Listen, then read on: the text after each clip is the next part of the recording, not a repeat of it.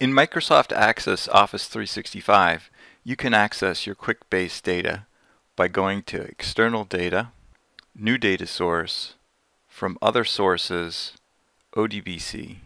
You can either import the data on a one-time basis or you can link to the QuickBase data so that it's dynamic. We're going to choose to link. You want to click on Machine Data Sources and here in this list you will see QuickBase via QNect 32-bit.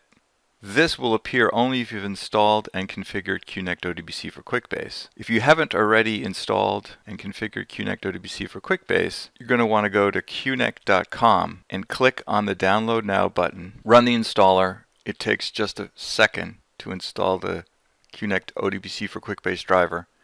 And then you're going to want to watch this video right here.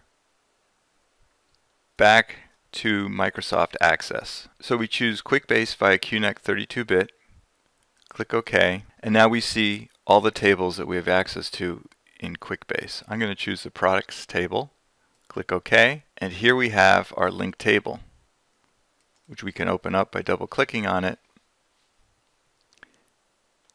And here we have our list of projects. This is dynamic, so if we make a change here, it will appear in QuickBase, and if changes are made in QuickBase, they will appear here. You can hit F5 to refresh and query for the latest information in QuickBase. That's it.